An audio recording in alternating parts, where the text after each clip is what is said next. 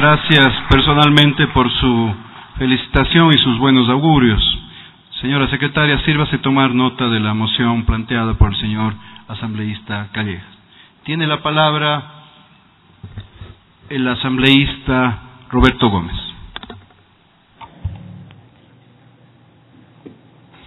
Gracias, señor presidente.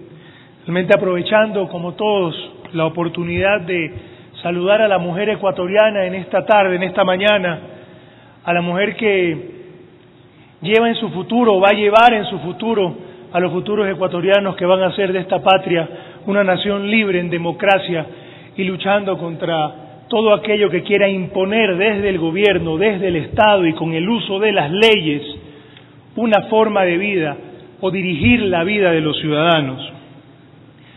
Yo quisiera hacer referencia, aprovechando el recuerdo que nos hizo la primera intervención del asambleísta Carvajal, Cárdenas. Eh, la realidad es que las infamias, la realidad es que las mentiras, ni siquiera en su propia conciencia tienen cabida completa porque no les da para mencionar el nombre de Guillermo Lazo cuando pretenden hablar de los banqueros para atacar a los ciudadanos. La realidad es que ustedes, como todos los que estamos acá, conocen absolutamente Por favor, la a los- historia de vida de él. Perdón, señor asambleísta, a los señores, señoras que se encuentran en las barras, seamos respetuosos justamente con las intervenciones de los asambleístas. Este va a ser la tónica con la que llevaremos siempre el proceso en el Pleno. Por favor, señor Gracias. asambleísta, disculpas por la interrupción. Gracias, señor presidente.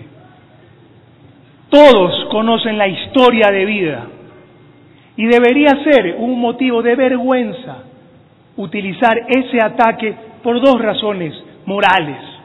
Primero, utilizar el dolor de millones de ecuatorianos, millones de ecuatorianos, para fortalecer sus fines políticos.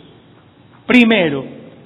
Y segundo, atacar a un ciudadano que ustedes conocen, porque la comisión de este gobierno determinó que no tuvo ni él ni su institución absolutamente nada que ver con el feriado, con la crisis, con lo que se vivió. Y no hubo un rechazo a ese informe. El presidente de la República puso a alguien y esa persona, el señor Valencia, lo determinó. Y ustedes lo saben. Y ese doble atentado moral tiene una tercera consecuencia, más grave aún. Hacer que personas que sienten dolor puedan encontrar un rechazo a una persona que nada tuvo que ver con ese dolor. Por ahí debe empezar el cambio en respetar y probar lo que tengan que probar. Todos sabemos la realidad y la suciedad de esa campaña, todos la rechazamos. Yo creo que es momento de decirle a todos los ciudadanos del Ecuador que la forma de hacer política nueva es tener una asamblea que deje de querer imponer una norma, un ritmo de vida, dirigir la vida de los ciudadanos y que se dedique a crear leyes que protejan los derechos.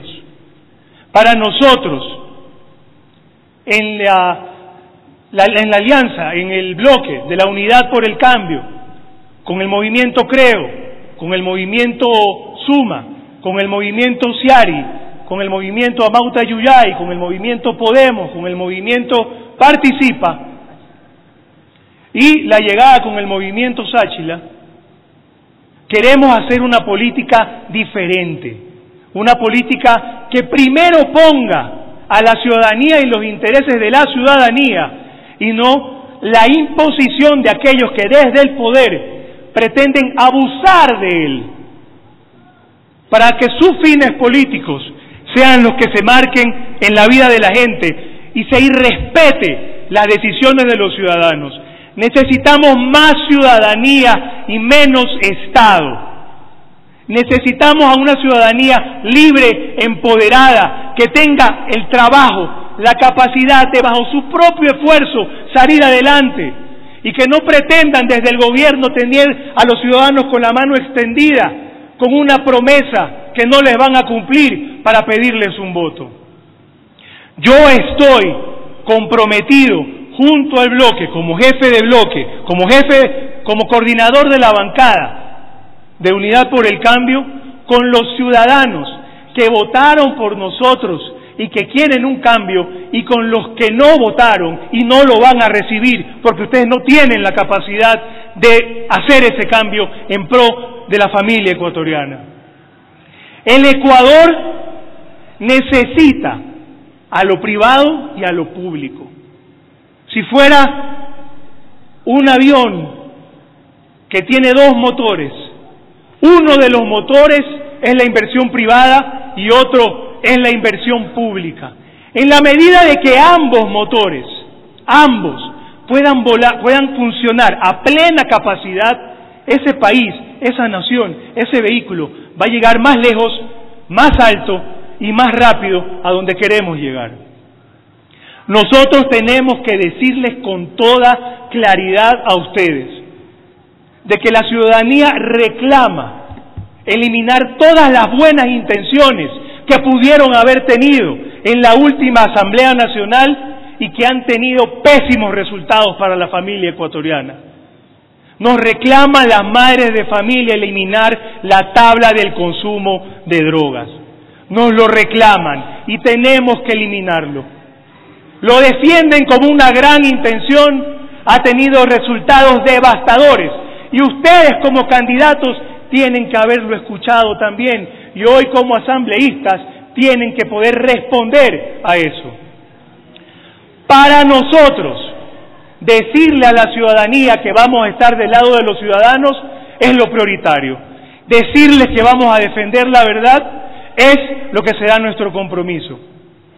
Y queremos ratificar la moción finalmente de un hombre que representa a un sector de la, de la sociedad que estando o no con nosotros se merece todo el respeto.